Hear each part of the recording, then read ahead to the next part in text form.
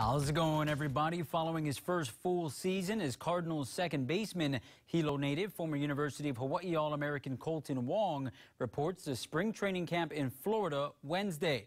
And the former first-round draft choice no doubt brings enormous expectations, having taken part in three straight St. Louis postseasons, as Wong will be expected to lead in 2016, vying to be the Cardinals' leadoff hitter. Recently, Kolten's former UH teammate Sam Spangler caught up with the 25-year-old in Honolulu.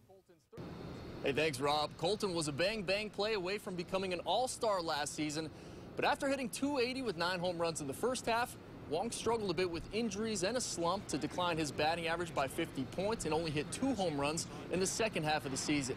This offseason, I got to work out with Wong at Tactical Strength and Conditioning, where Kolten's getting his body in shape for 162 games of consistency in his third big league season.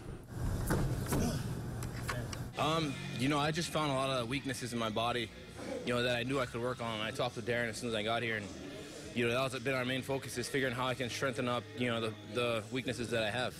And uh, you know what I learned is, you know, how long a season is, and you know, you got to understand that, you know, it's a grind regardless of, you know, if you're playing every day or you're not.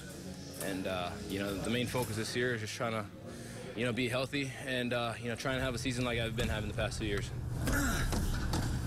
Also this offseason, Kolten married former UH track runner Alyssa Knoll. Now they make their offseason in Palm Beach, Florida, where the Cardinals open up their first spring training workout on Thursday.